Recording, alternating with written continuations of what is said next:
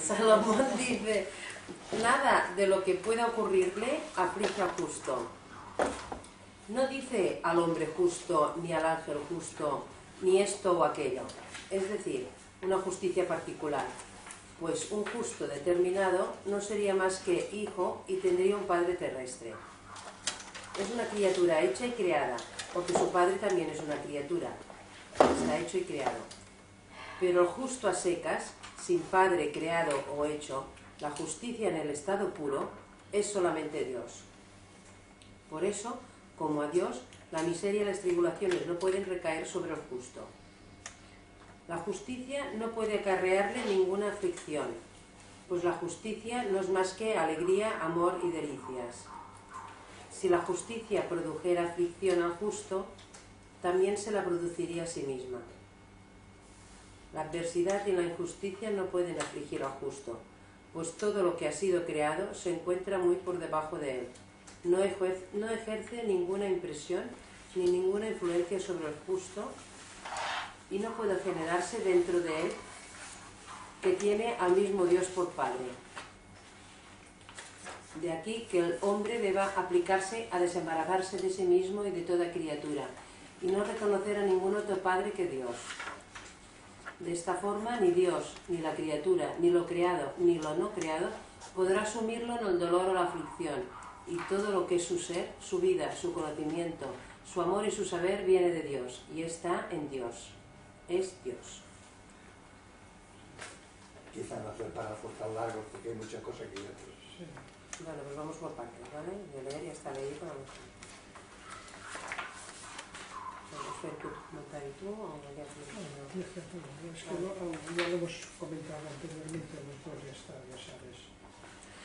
Ah, nada de lo que pueda ocurrir al justo aflige, le aflige, ¿no?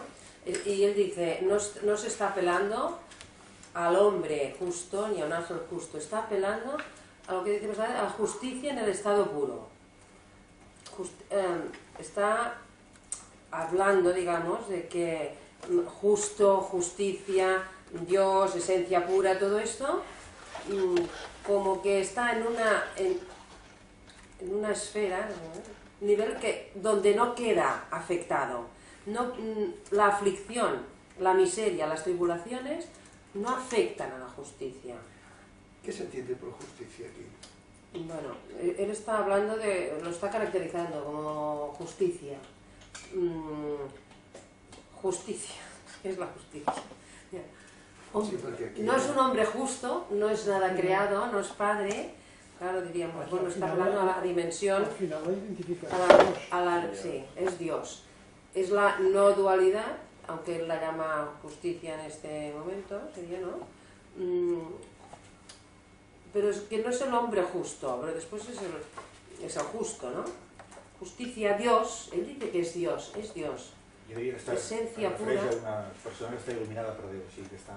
Pero no, no, es el hombre justo, ¿eh? No, no. No es el hombre justo, ni el ángel justo, ni esto, ni aquello. No, el justo, sí, el tío que está... Sí, pero intenta como que eh, le dice justicia, pero no te fijes en lo que en algo justo. Sí, pero el sentido, que yo lo que pregunto es por el sentido de justicia y justo. No, no tiene que ver con juicio. No. Es otra cosa. ¿Qué cosa?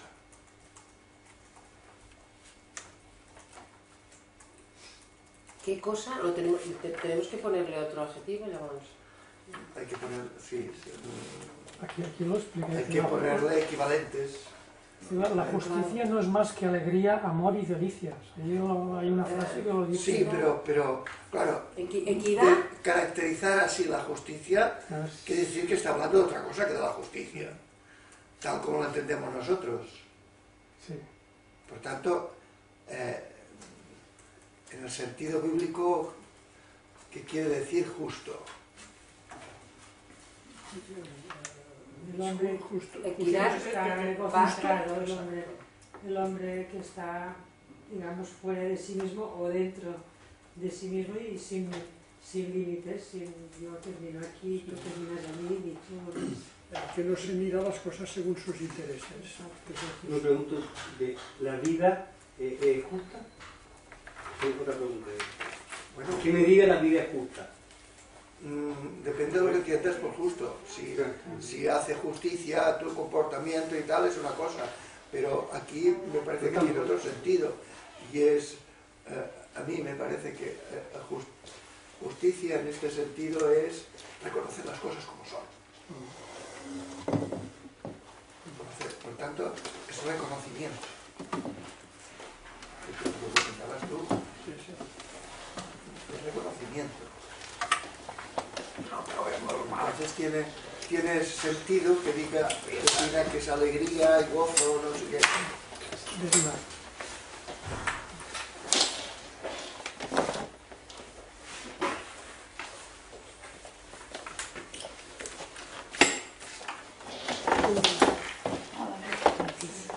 Por eso, Entonces explicar un poco más lo de reconocer las cosas. Las cosas, ¿qué cosas? Como son. todo. Todo. Yo, que entender un poco por oposición. Normalmente todo, todo lo, vemos según nuestras necesidades, nuestro punto de vista. El que se sabe salir de esta, podríamos decir, centralidad de él, es el que las ve en ellas mismas. Y es la persona justa, que, que además coincide incluso con el sentido más... La persona justa es la que a ver, se le llama imparcial, diríamos. Son adjetivos más bajos, ¿eh? pero va por aquí, ¿no? Que, ¿no? que no lo refiere todo a él, sino al revés, sino que se, se, se sabe de él y mira las cosas que no es injusto con la realidad, no es injusto con la realidad, hace justicia a la realidad. La lo re- lo reconoce en ella misma. Sí, claro.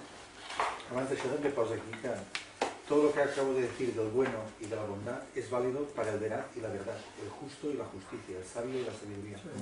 Sí, també. Fa la pàgina 36. Sí, sí, sí.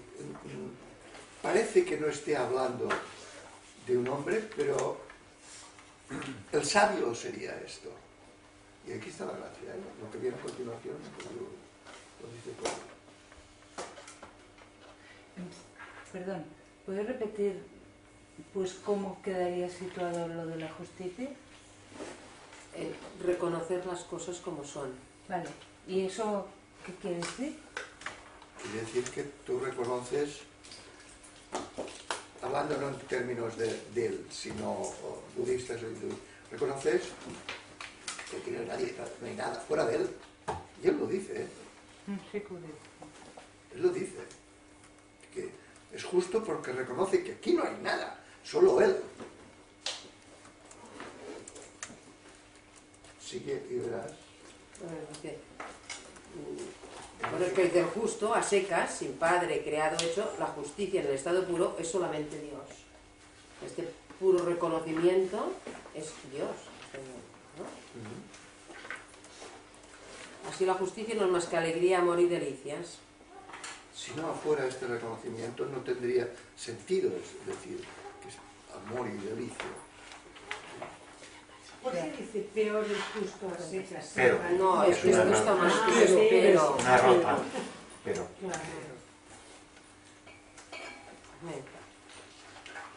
La adversidad y la injusticia no pueden afligir al justo. Pues por lo tanto está hablando de un, de un hombre. Está hablando. Por tanto, ha ha dicho que reconocer que Dios es todas las cosas, eso da alegría, amor y delicias. Eso Sí. es lo que está bien ya. Pero es que, estando de acuerdo, añado, lo mismo podemos decir de la verdad. Claro. Sí, es, Sí, pero- pero- es que lo había dicho antes. sí, sí, por eso. Sí, sí. Y, y la conclusión que saca ahí, fijaros, como tiene que ser esta, esta interpretación, pero la conclusión es de aquí que el hombre debe aplicarse a desembarazarse de sí mismo y de toda criatura y no reconocer a ningún otro padre que a Dios. Tiene que desembarazarse de sí mismo. Sí, de sí mismo, de la contemplación y de toda criatura. De esta forma, ni Dios, ni la criatura, ni lo creado, ni lo no creado, podrá asumirlo en el dolor, la aflicción y todo lo que es su ser, su vida, su conocimiento, su amor y su saber, viene de Dios y está en Dios, es Dios. Claro, fíjate, entonces, to- su vida, su conocimiento, su amor, su saber, viene de Dios, está en Dios y es. Dios. Aquí ya da el sentido de justicia que entiende por justicia,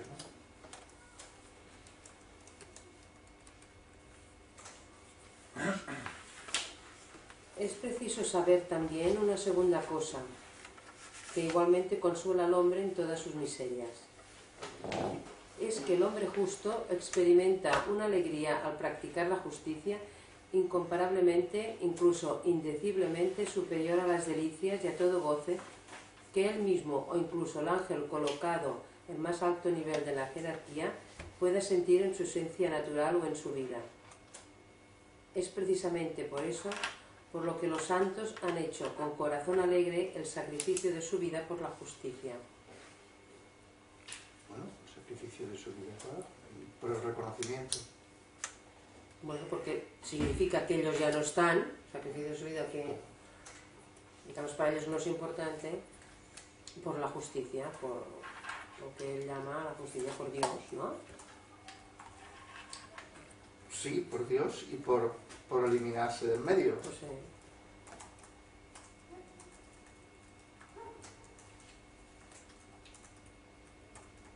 Y esto eh, dice que se experimenta con alegría, incluso superior a las delicias de todo el mundo. Claro, no hay nada superior, digamos, ¿no? Eh, Él explica como si fuera una experiencia de, del top, ¿no? Y no es que uno ya ha desaparecido totalmente y no hay nada que pueda mm, eh, mm, superar, digamos, ¿no? La- perturbarnos. o perturbar esta... Claro, es que es, es, es el reconocimiento de lo que es, que es Dios. Y esto está por encima Es, es, claro, es- claro, es del que conocimiento. lo está diciendo un cristiano, ¿eh? Lo está diciendo un cristiano y lo está poniendo como que en Dios también, ¿no? No, Pero lo está diciendo. en Dios, pero, pero fijaros la frase que ha dicho antes. Si, si se quita del medio, su vida, su conocimiento, su amor, su saber, viene de Dios, está es en Dios, es Dios. Dios. Elimina la dualidad. Sí. Ahora bien, cuando al hombre justo y bueno le sobreviene algo exterior desfavorable, es preciso que se mantenga inalterable y que la paz de su corazón no sea turbada. Siendo muy cierto lo que yo he dicho antes, que el justo no se aflige por nada de lo que le ocurre. ¿Por qué? a ver, al, al- al hombre, digamos, que mm, no le afecta eh, eh, alguna circunstancia desfavorable, como lo dice aquí, si está situado en este puro reconocimiento, no está a merced de los vaivenes, de lo que venga exteriormente, de lo que me afecta, de lo que me influye, de lo que yo siento, no está a merced de esto, por tanto se mantiene inalterable y es en ese sentido que dice es preciso que el hombre justo se mantenga inalterable y la paz de su corazón no sea perturbada, a pesar de las inclemencias exteriores. Porque sabe, sabe que, es, que, es, que, es- que no es real. Que- Exacto, que esto no es, que lo que, es. lo que es es lo que es. Pero, si se da el caso que se aflige por alguna desventaja exterior, es completamente equitativo y conforme a esta ley divina. La desgracia ha golpeado a aquel que quería ser justo e incluso creía serlo, desde el momento en que cosas tan pequeñas eran aún capaces de afligirle. Es decir, vale, el hombre justo y bueno mm, se mantiene inalterable y la paz de su corazón no se turbada. Pero puede ser que se sienta golpeado, ¿no? Dice, bueno, pues entonces es que el que quería, quería ser justo, incluso quería, creía serlo, pues no, no. lo era tanto. No lo era tanto. No lo era tanto. Y si es, eh, y si es, de, es ley de Dios, el hombre no debe afligirse por ello, sino por el contrario, regocijarse más que, de su propia vida, a la que sin embargo concede más valor y en la que encuentra más goce que en el mundo entero. Es decir, es una ocasión si, te sientes afligido, vale, eh, todavía es una ocasión para que te des cuenta de que te creías tan justo, no lo eras tanto, por tanto... mm, que lo aprecie más que su propia vida. Aunque luego hace un, un- un añadido que para aclarar esto de su propia vida. Pero que aprecie la tribulación más que su, que su propia vida, porque la tribulación le está haciendo ver mm, lo que... Lo que, lo que... Lo ¿Dónde, que- fa- dónde fallaba? Es como un signo, ¿no? Sí. Pero, ¿y, y por qué no se puede afligir el que, el que lo ve todo como Dios? ¿Por qué no se aflige? Pues por- no se aflige porque, eh, hablando en términos eh, hindús o budistas, porque sabe que es un sueño, que, que no es real. Pero también sabe que es Dios, o sea que tendría que estar Precisamente porque lo contento. sabe, no se aflige. Sabe que el, el- el mundo de las aflicciones que pueda tener es un mal sueño, es una pesadilla. Solo es una pesadilla. Y que su verdadera realidad es Dios. Vale, supongamos la muerte de alguien.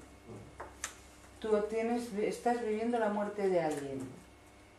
Eh, y eso al hombre justo no le aflige. No. Digo que, Lo cual no quiere decir que no llore la pérdida. de acuerdo, pero no le aflige. Puede, puede llorar la pérdida, pero esto no es aflicción, sino que es así. Es así. Y, y- y claro, como no va a llorarla? Pues, Vale. ¿Y cuál es la aflicción? ¿Cuál es el problema? Eh, sí, a, a mí que se me diga es que la vida es así, unos nacen, otros mueren, pues vale. Pero que a esto le llame Dios, o es que a esto le llama Dios. La forma es el vacío, el vacío es forma, Marta. La muerte también es el vacío. O sea, lo relativo es, lo absoluto, lo absoluto es lo relativo. No hay dualidad. Esto es lo que está afirmando. Y por tanto, quien sabe que lo relativo, eh, para hablar en términos eh, teístas, eh, la criatura es Dios, pues no se aflige por desaparecer.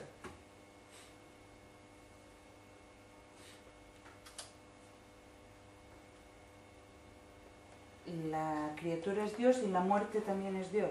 Porque claro, la criatura sea Dios, Todo, pues pasa to- y to- todo. Todo. Claro que la muerte es Dios, que va a ser así, ¿no? Sí, La vida y la es- muerte. por la lógica esta que Por la estamos llegando, ¿Qué sí. Podríamos Es decir que este es el la misterio. Este Sí, es el pero- misterio de la vida y de la muerte. Mm. El misterio de la vida y de la muerte no es que venimos y nos vamos. Esto no sería mucho misterio, sino qué hay detrás de la vida y la muerte. Y lo que hay detrás es eso que es, tanto en la vida como en la muerte. Porque la vida y la muerte son formas, ¿no? Y lo absoluto, lo inconcebible es el vacío. No hay dualidad.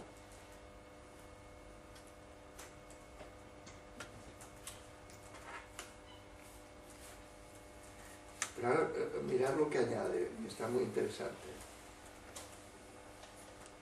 En efecto, ¿de qué le serviría al hombre el mundo entero si él mismo no existiera? De nada. Esto sería una frase vedanta. ¿Dónde pone eso? Mm, No, pero eh, en el- en el Evangelio si, si pierde su alma, si, si, no, si no existiera. Bueno, también se puede tomar, así, se puede tomar así. Pero lo curioso es que no el- la frase evangélica, sino No. que la, la, la transforme. Sí, sí. Está apuntando a la gratuidad, ¿no? Sí, pero está apuntando al, al yo soy de, de los Vedantas. ¿no? Soy mm, sin condición.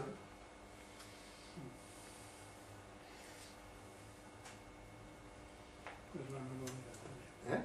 La lo gratuidad. la- y la no dualidad. la Y una no dualidad absoluta. ¿Sí? Mm. La O sea, tercera, perdón, perdón, o sea, él piensa que si solo hay Dios, yo no existo. Es su... El lenguaje No, no, hizo- so- no se lo formulará nunca así.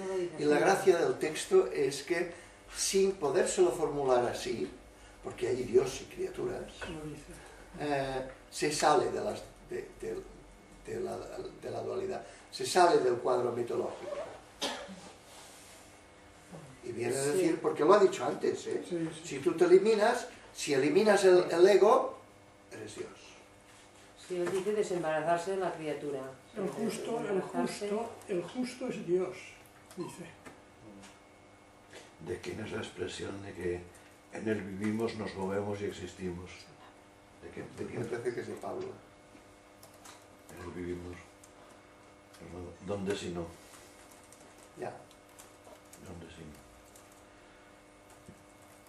seguimos. La tercera cosa que se puede y se debe saber es esta.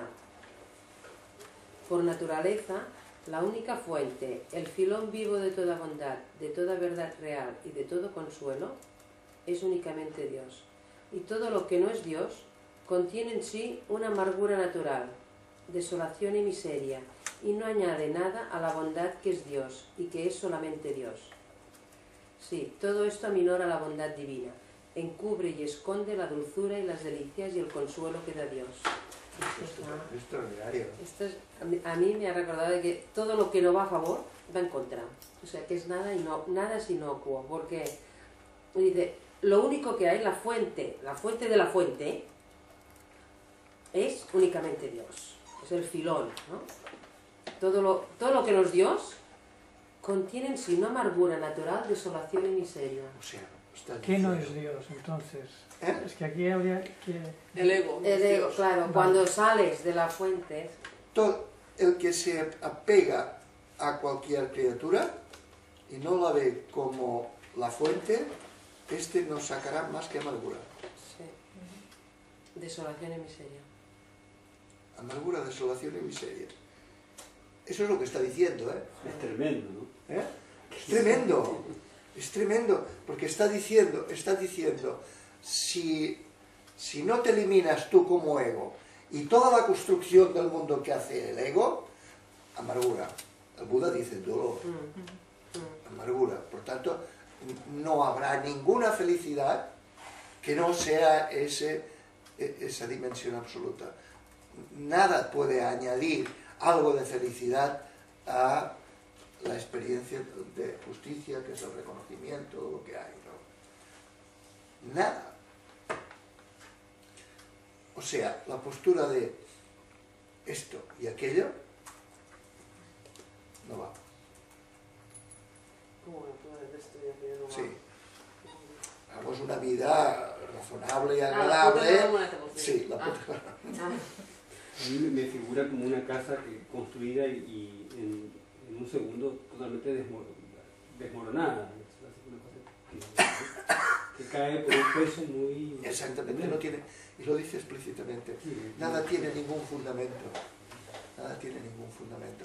Y lo que es extraordinario es que este individuo tiene una cabeza dual, mítica, y, y- y dice estas cosas.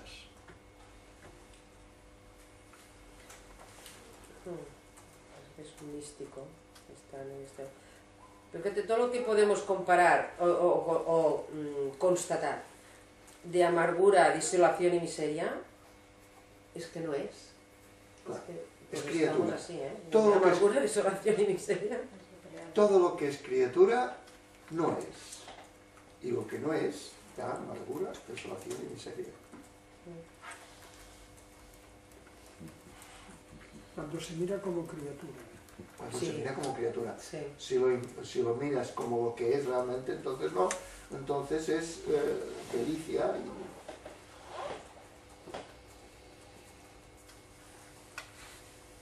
Por eso cuando se mira como criatura, mm, no hay justicia, digamos. Dice, sí, todo eso aminora la bondad divina, encubre y esconde, esconde la dulzura y las delicias del consuelo de Dios. Eh, lo único que da consuelo es Dios en ese sentido. Algo que viene a continuación también. Bien. Gargalastistas. Yo, Yo, yo quisiera añadir algo, y es que mm, ah, esta dulzura, esta alegría, esta ah, propia de, de la no dualidad y de lo que estamos diciendo, es muy sutil. Es decir, ah, luego hay la alegría de, de la dualidad, ¿eh? que es una alegría de contrastes, que se lleva, el placer lleva al dolor, y esto, este mundo, ¿no? Lo que vivimos. A mí esta alegría es una alegría eh, otro, de, de una cierta, hay que tener una, hay que trabajar la propia eh, sensibilidad y la propia, o sea, no es, no es la alegría de jijaja, ¿eh? Que tiene enseguida, no sé, quería notar esto porque... No es la alegría de vino y mujeres, ¿sabes? No, exacto. No, y que no es, es, es natural, porque es nuestra naturaleza, que es lo que irá diciendo todo el rato, que esta es nuestra naturaleza, esta no dualidad, pero es sutil, ¿eh? no, no es automática, no es aquello, ¡pling! Ah, ya, ya estoy ahí, ya. No, Trasciende la dualidad, ¿no? Sería una alegría que trasciende la dualidad del placer y dolor, ¿no? Que está más... Sí, y por eso es tan sutil, porque la, la tenemos, eh, la alegría la tenemos muy... eh, conectada. conectada a, a esta otra alegría más de, de contrastes y de, sin esta sutilidad. Yo digo además que todo dolor proviene del amor que experimento por lo que he perdido. Si por lo tanto yo lamento haber experimentado algún perjuicio exterior, esto es un índice seguro de que tengo apego a las cosas exteriores, incluso de que en realidad amo el dolor y la aflicción. Esto es tremendo. Eh, Viene a decir, Es quien que- ama a las criaturas, ama el dolor y la aflicción. No nos parece así, ¿eh? No. De normal no nos parece No es así. nuestra parece así, percepción. pero- es así. ¿Y por qué? Porque eh, el amor ese nace del deseo. El deseo es temor. El, temor siempre va de inquietud y de dolor. y Genera expectativas que la mayoría no se cumplen, etcétera, etcétera. Pero estamos apegados a este dolor y a esta aflicción. Venga, dale que te pego. ¿sí? Son frases, son párrafos tremendos, ¿eh? ¿Y cuál piensas que es el punto de partida? ¿Por qué él llega aquí? Porque dice, todo es Dios y aquí me meto y tiro para adelante y saco todas las consecuencias? ¿O por qué llega aquí? Por, mm, Pues yo diría, yo diría que llega mm, por la vía del mito, mito y el símbolo Mm. de Dios y él. eh, llega un momento en que rompe la dualidad, eh, rompe la dualidad pesar de que man- mantiene su estructura, eh, el programa mental dual, mm, dice todas estas cosas que no caben, que no caben y resultan sospechosas. Desde el punto de vista del, del mito, no, no, Pero por la vía del mito, vale, cre- creyendo pues que hay un Dios creador y unas criaturas creadas, mm, pero qué, rezando, orando, mm, creyéndose esto hasta el fondo, No, no, ha- haciendo, haciendo un camino interior en el cual eh, él ve Dios y las criaturas y ve que las criaturas no tienen ninguna consistencia y ve que la, la consistencia es de, de- de Dios y va descubriendo que lo único que hay es esa fuente. Que toda el agua viene de esa fuente y lo que hay es la fuente. Mentalmente, eh, porque este no va, no va, no da la sensación que vaya por vía de, de devoción, sino que va por, reflexión. Eh, pensar que también la teología del tiempo decía que eh, Dios es un, ser, es un ser desde sí mismo, en Sase, y que el hombre es un ser desde otro, en Sabalio. Esto da pie a la reflexión, decir, bueno, su ser es de otro, no, viene de otro, por tanto la fuente es otra. Tiene, tiene fundamento eh, en la mitología eh, y la doctrina cristiana tiene fundamentos para que haga este camino. Pero al hacer el camino, eh,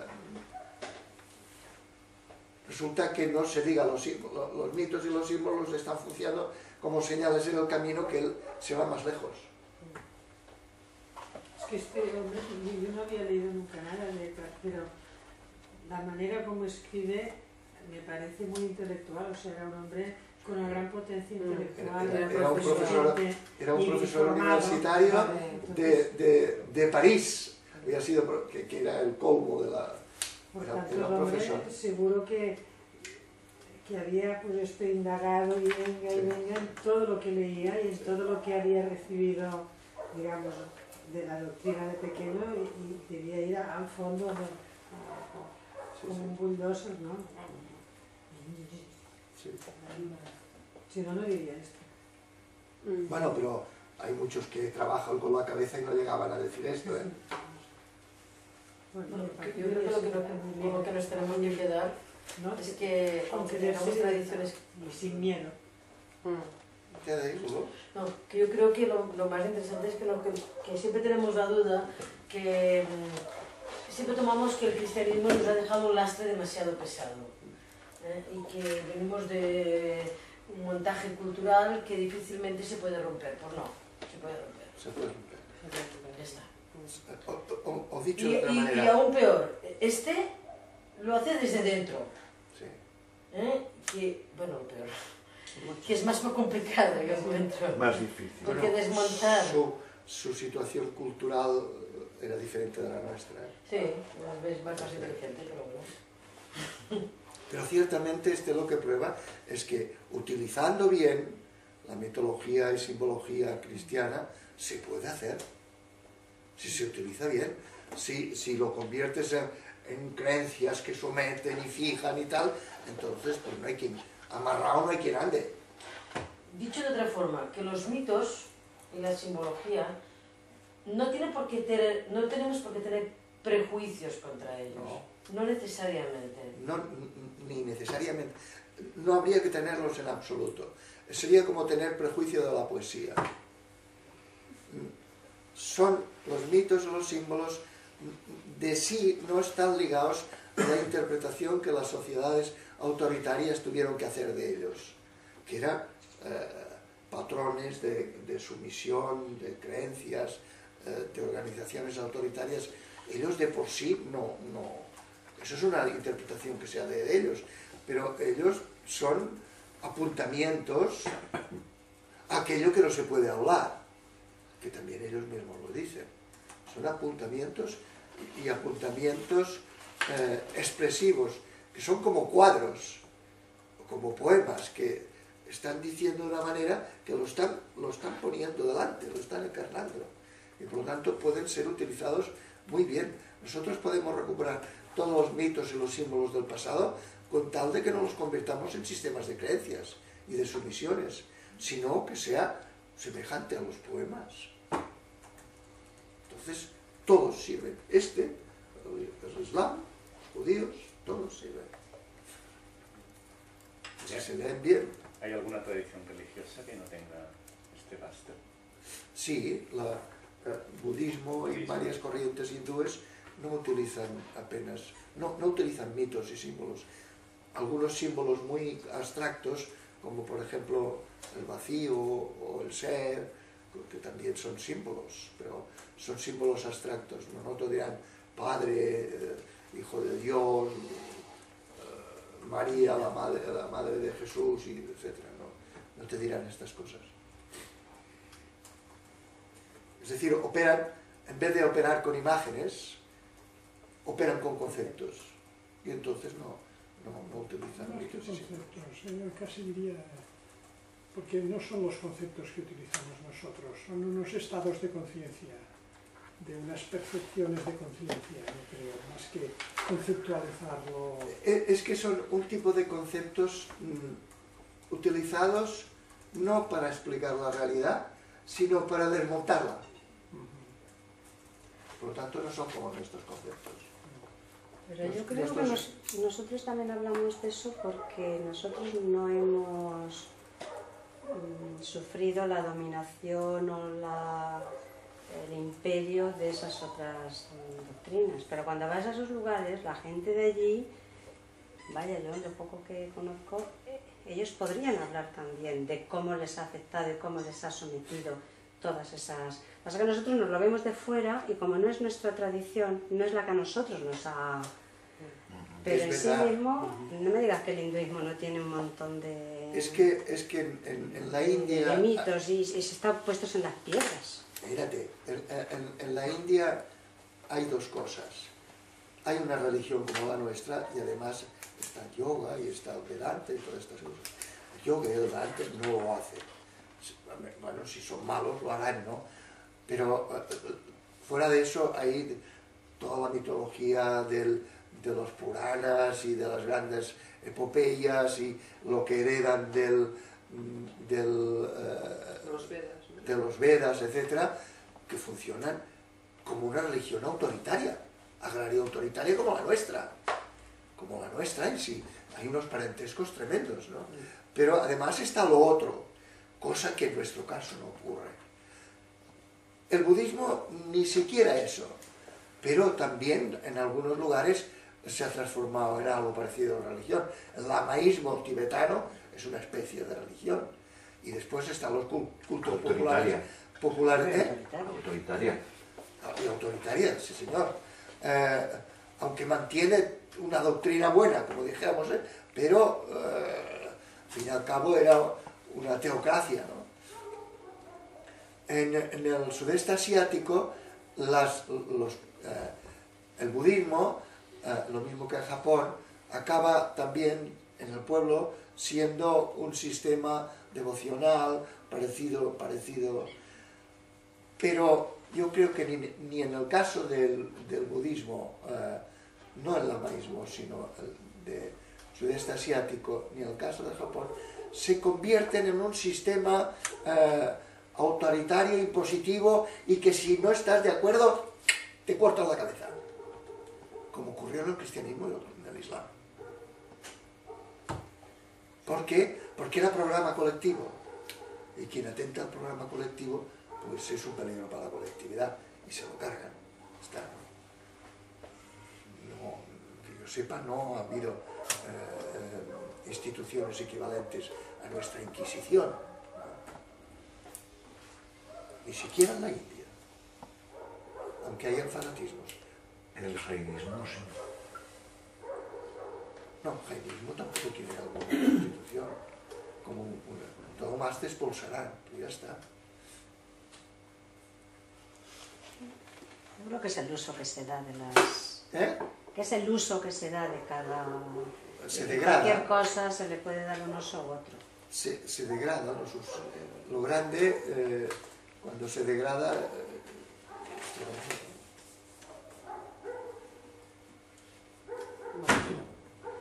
Mm, Bueno, retomo un poco antes para seguir.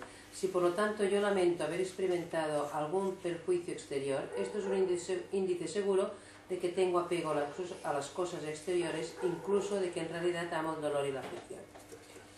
¿Por qué admirarse entonces de que esté lleno de miserias, puesto que amo los dolores y las aflicciones, que mi corazón los busca y que mi amor da a, las a la criatura el bien que es propiedad de Dios? cuando yo mismo, amando a las criaturas, mismo me hago dolor y aflicción. ¿no?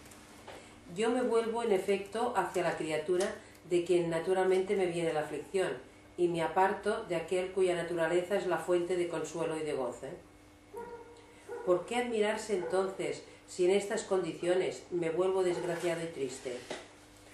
Le es absolutamente imposible a Dios y al mundo entero hacer que encuentre un verdadero consuelo el que busca el consuelo en la criatura. Pues ahí, tienes, ahí lo tienes.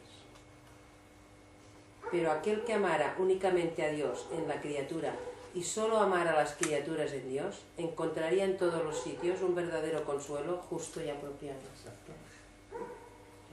Vacíos formas, formas vacías. Exacto.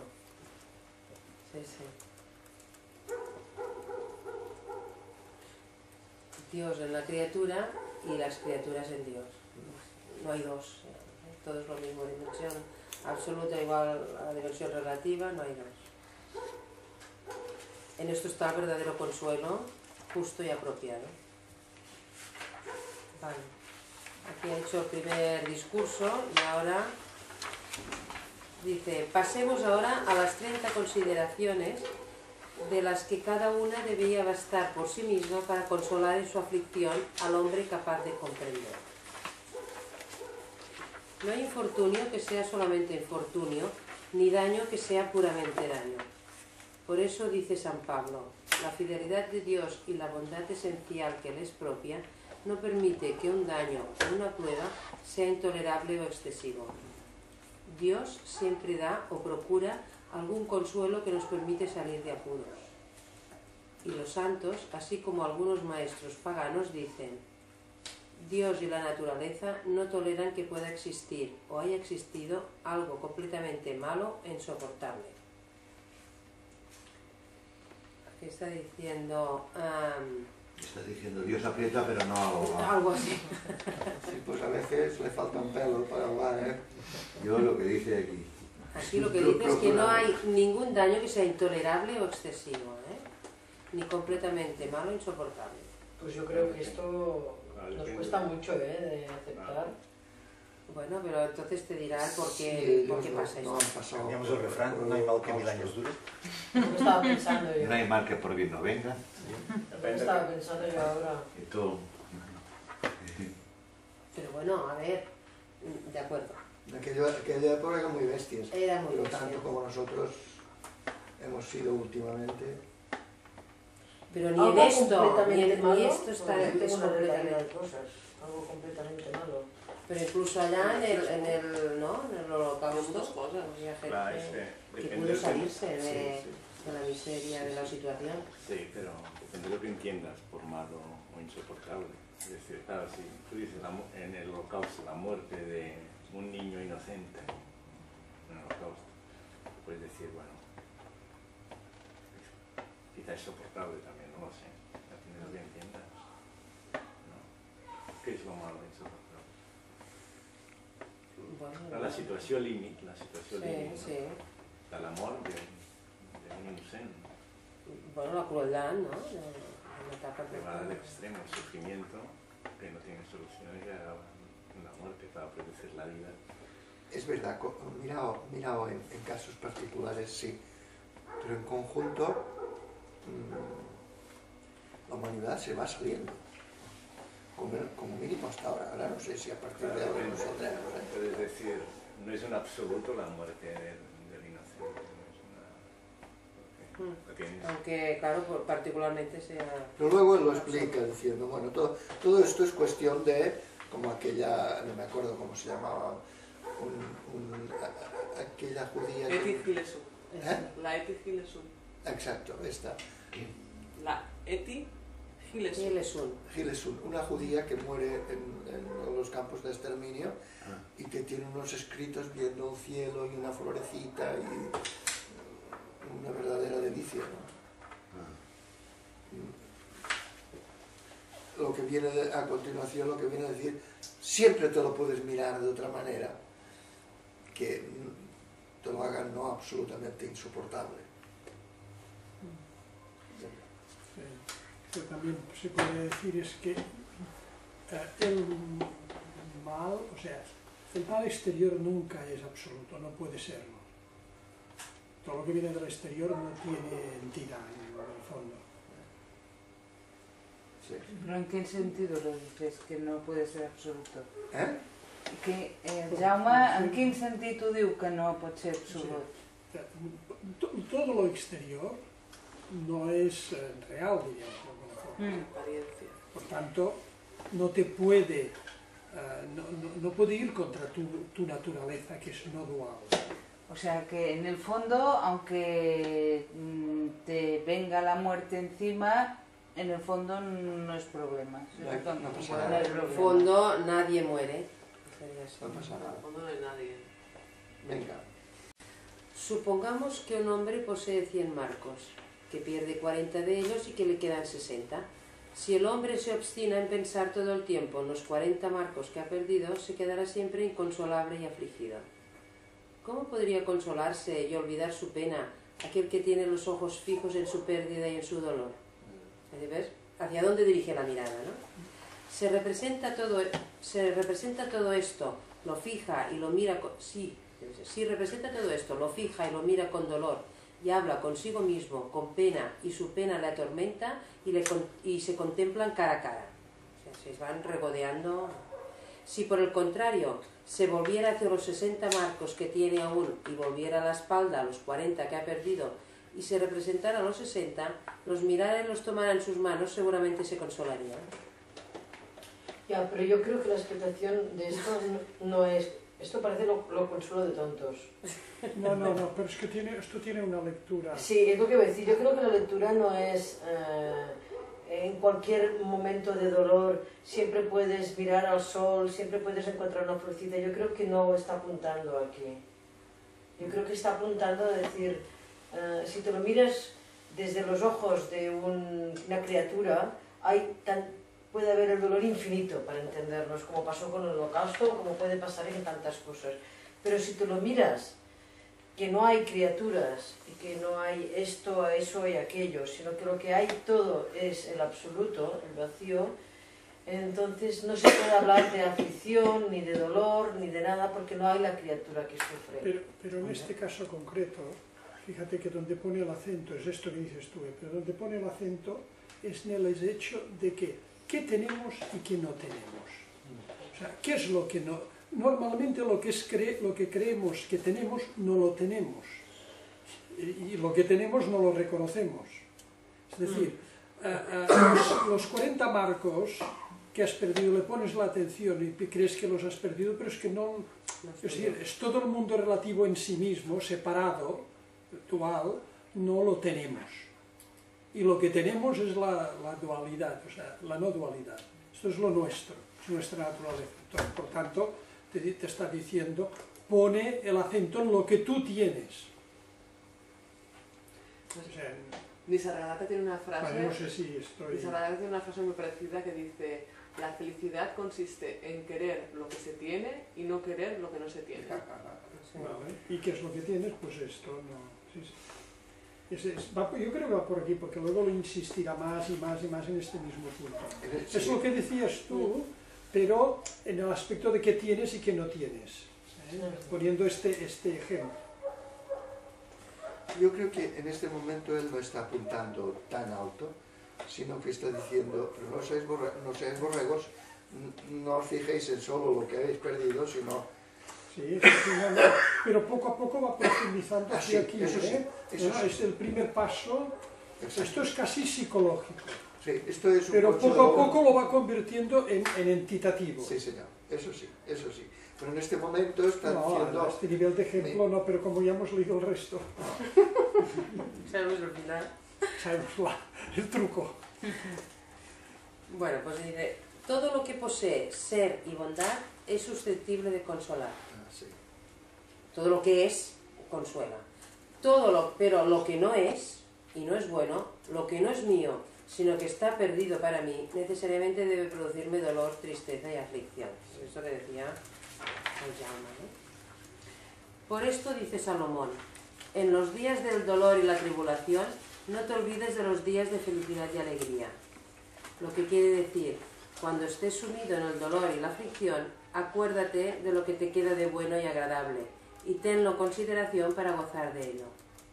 Y el hombre debería consolarse además diciéndose que hay miles de personas que si poseyeran los 60 marcos que le quedan, se creerían grandes señores y se considerarían ricos y serían muy felices por ello y estarían muy agradecidos a Dios. Vale. Hay una segunda cosa que debe consolar al hombre.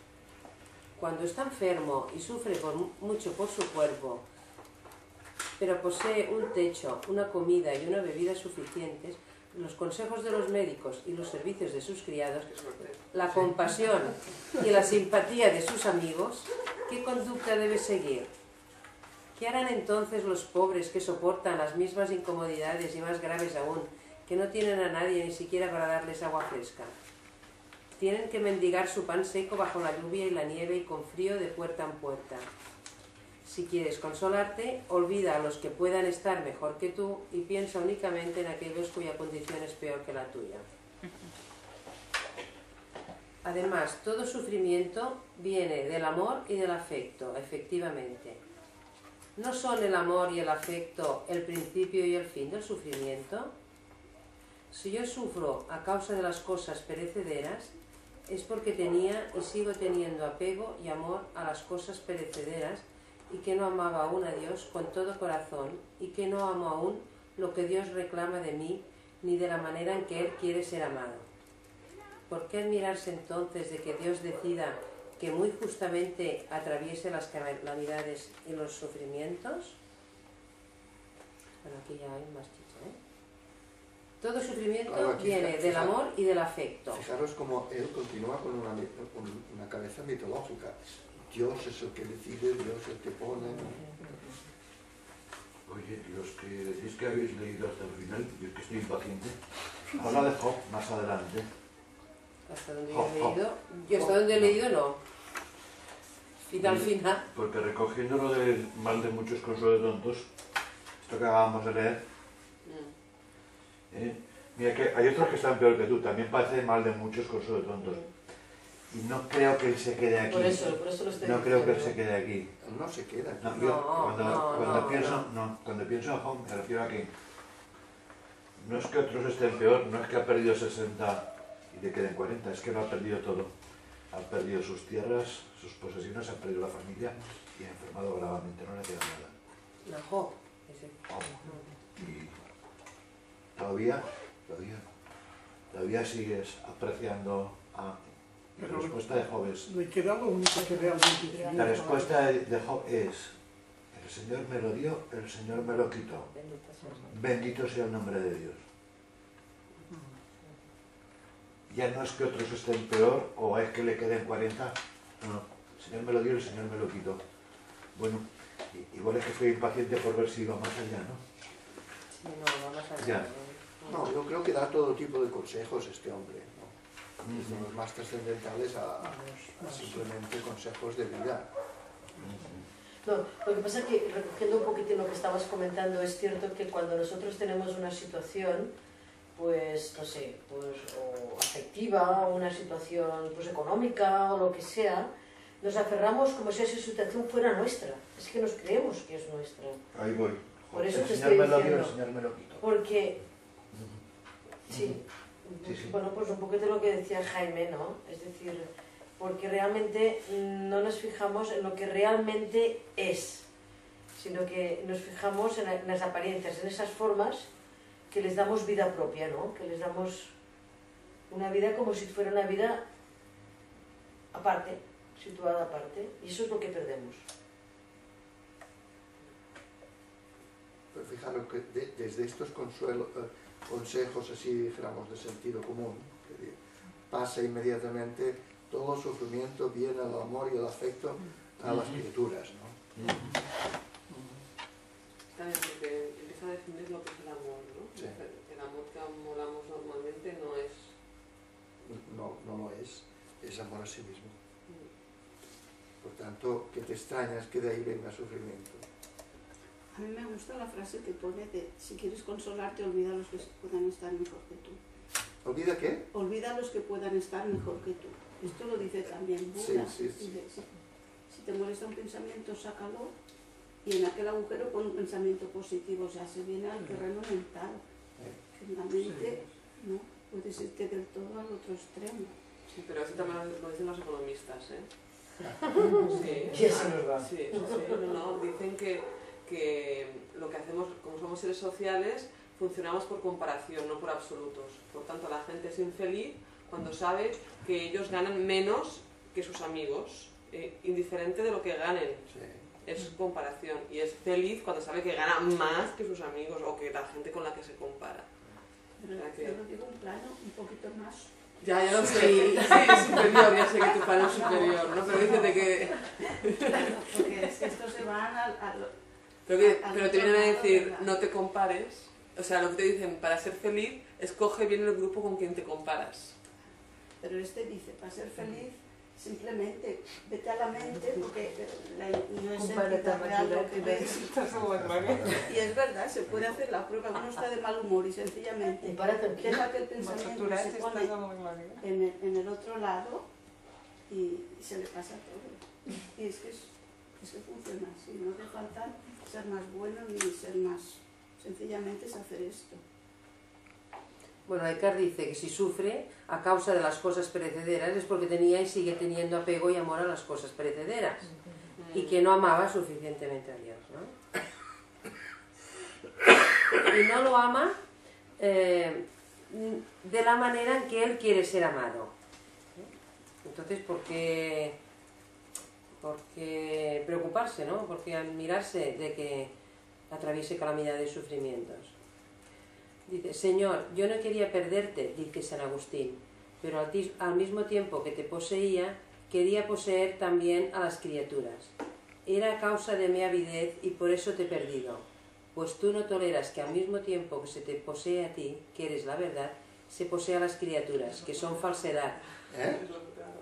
Sí, aquí no se puede tener un pie aquí y un pie allá, o uno o otro. Esto de estar en las dos, no.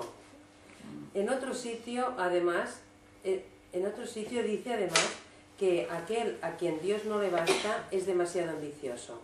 ¿Cómo podrían satisfacer los dones de Dios a aquel a quien no le basta poseer a Dios y estar con Dios?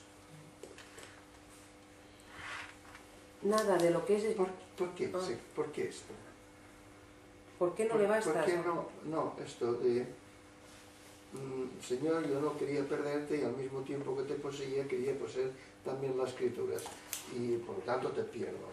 ¿Por qué? Claro, porque, porque es lo que decíamos, o sea que había quedado claro. No es posible, mm, ¿cómo se dice esto? Estar no sé dónde y, y- En misa y repicando. en misa y repicando. Es decir, no se puede estar queriendo mm, a las criaturas en este sentido, dependiendo o interaccionando de la manera en que yo me sienta yo, y al mismo tiempo, ay Dios mío, qué bien. No, No, porque uno es dual y el otro es unidad. Bueno, porque... eh, ¿Cómo que por qué no se puede estar? Sí, porque no puedes estar tú siendo... Porque uno refuerza eh, la identidad del yo, lo encierra, y, lo, y el otro no. Entonces, lo que puedas hacer, para entender, bien en un sitio, mm, lo estás mm, masacrando en el otro. No, no puedes avanzar, no.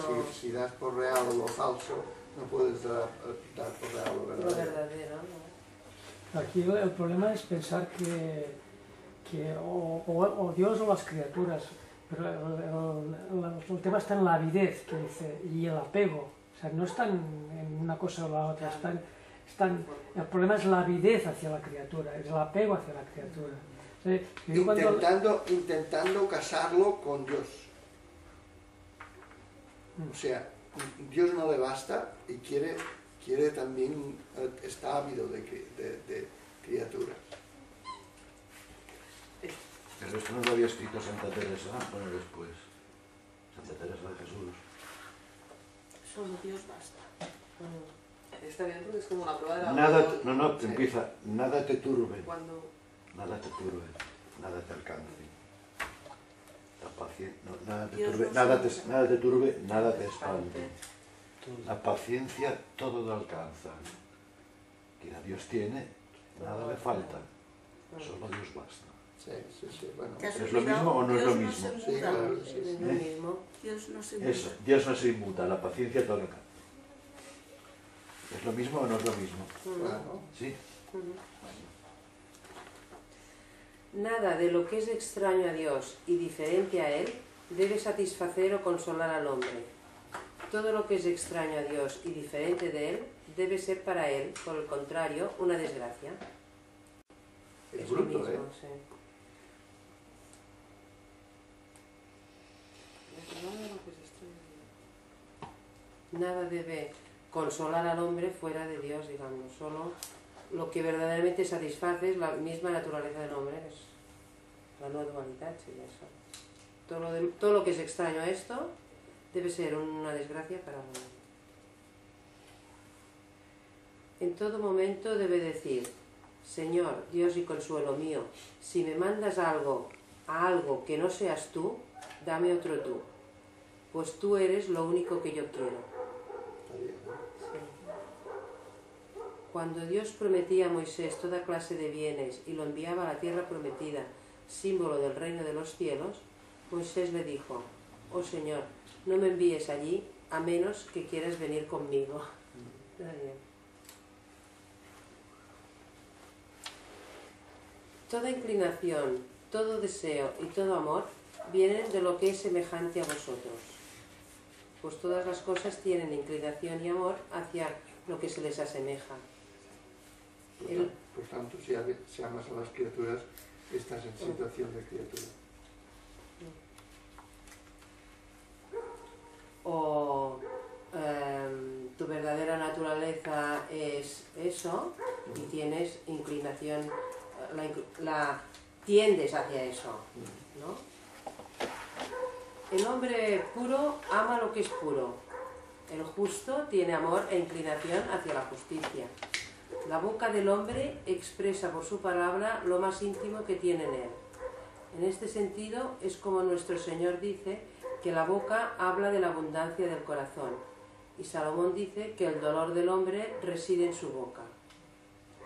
Por eso es un signo seguro de que no es Dios, sino la criatura mortal y perecedera la que se encuentra en el corazón de un hombre cuando éste busca aún en el exterior inclinación y consuelo. Vas remachando un clavo. Sí.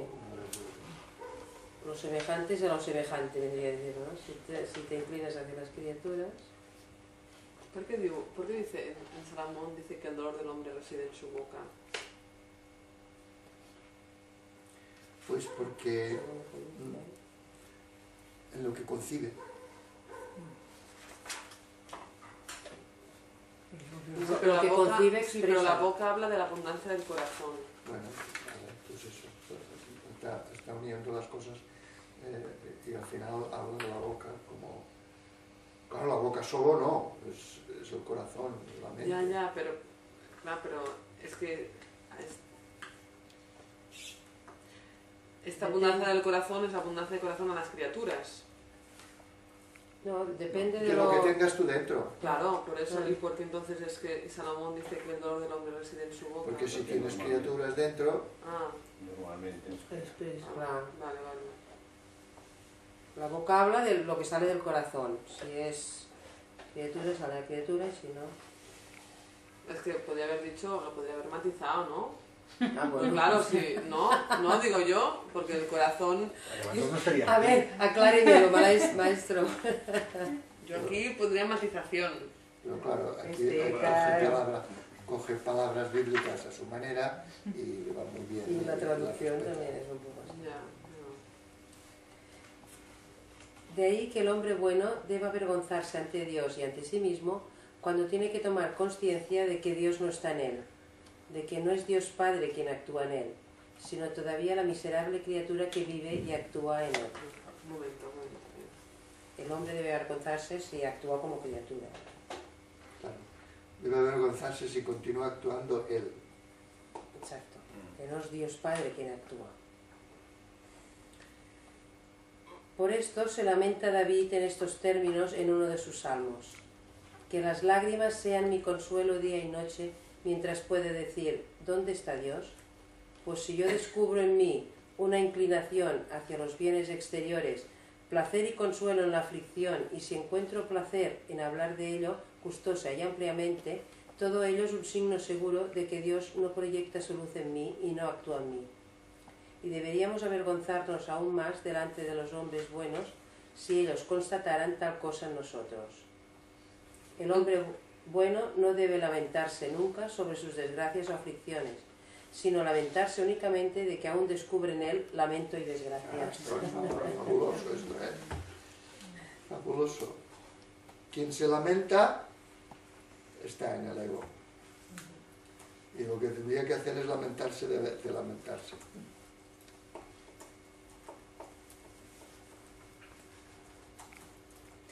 Y aquí que, bueno, este salmo de David dice que las lágrimas sean mi consuelo, mientras puede decir todavía dónde, dónde está Dios, mientras todavía me doy cuenta de que estoy actuando, que estoy en, en el sitio equivocado, digamos. Este.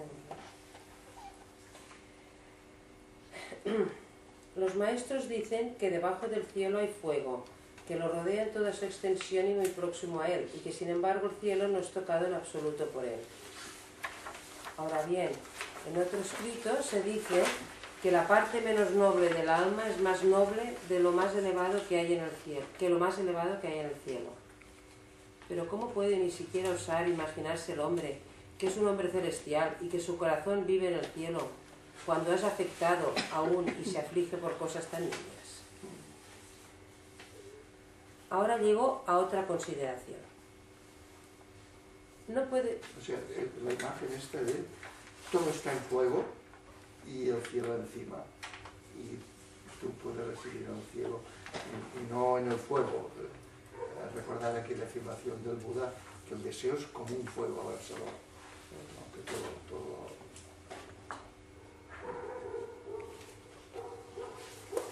Ahora llego a otra consideración. No puede ser un hombre bueno aquel que no quiere lo que Dios quiere, según su propia naturaleza, pues es absurdo creer que Dios pueda querer otra cosa que el bien. Y particularmente en este sentido, y porque Dios lo quiere, es por lo que el bien se convierte en el bien y es necesariamente el bien incluso lo mejor. Por esto nuestro Señor ha enseñado a los apóstoles y a nosotros mismos en su propia persona y por eso todos los días decimos esta oración. Hágase tu voluntad. Y sin embargo, cuando llega la voluntad de Dios y se convierte en un hecho, nos quejamos y nos ponemos tristes y afligidos.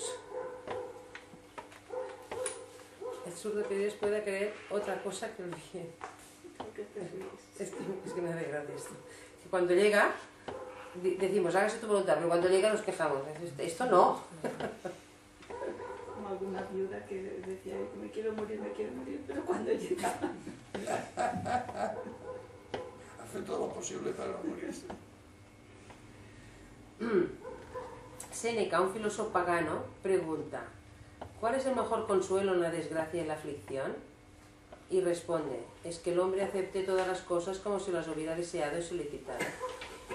Pero si has deseado y pedido en tu oración que todas las cosas sucedan por Dios y ocurran según la voluntad divina, cuando esto se produzca, no te irrites. Un maestro pagano dice al respecto, Oh tú, guía y Padre Supremo, único Maestro del alto cielo, estoy dispuesto para todo lo que quieras.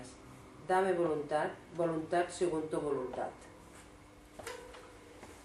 Ah, o sea que en este proceso no solo hay reflexión, también hay oración.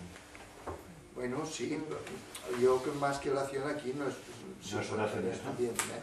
Ah, pero aquí lo que hay es una, una idea de Dios como Señor, una idea de Dios como Señor que dispone y tal.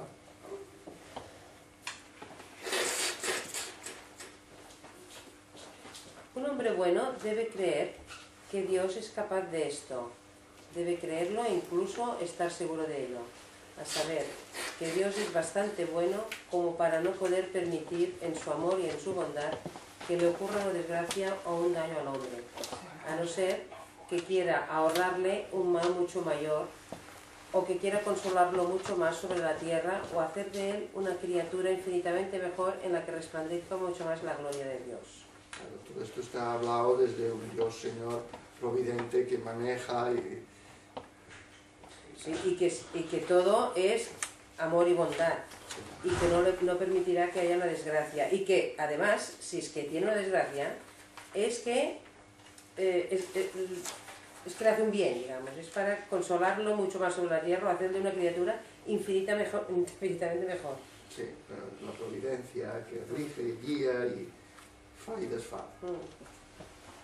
De cualquier forma, por el solo hecho de que esto debe ocurrir según la voluntad de Dios, la voluntad del hombre bueno debe estar en Dios y con la voluntad de Dios en una unidad y en una unión tales que quiera lo mismo que Dios, incluso si esto le fuera a producir algún inconveniente, aunque fuera su condena. ¿Ves? Ah, Y ahora ya lo transforma. Dice, bueno, es que de cualquier forma, aunque fuera así, por solo el hecho de que esto debe ocurrir según la voluntad de Dios, la voluntad del hombre bueno debe estar en Dios y con la voluntad de Dios en una unidad. Fijaros, fijaros, ha estado hablando de un Dios supremo, providente, que dispone este bien y el otro, y que si te envía algo es por tu bien y tal y cual, y acaba diciendo que tu voluntad y la divina deben ser una, incluso si te condena. Lo cual quiere decir que mm, no es masoca este señor. Eh, ¿Cómo va a condenar algo que no es? Si mm, la voluntad, mi voluntad es la voluntad de Dios porque en realidad